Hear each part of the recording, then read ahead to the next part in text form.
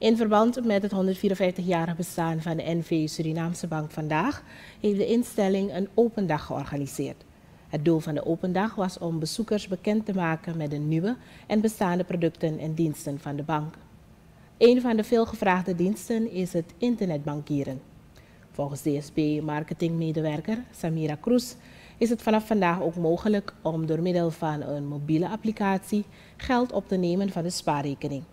De open dag van de Surinaamse Bank heeft geduurd van 8 uur s morgens tot 12 uur vanmiddag. Behalve bij de DSB Branch Quata konden klanten ook terecht bij de DSB-filialen in Paramaribo Noord, DSB in de Hermitage Mall en het DSB-filiaal in het district Nikeri.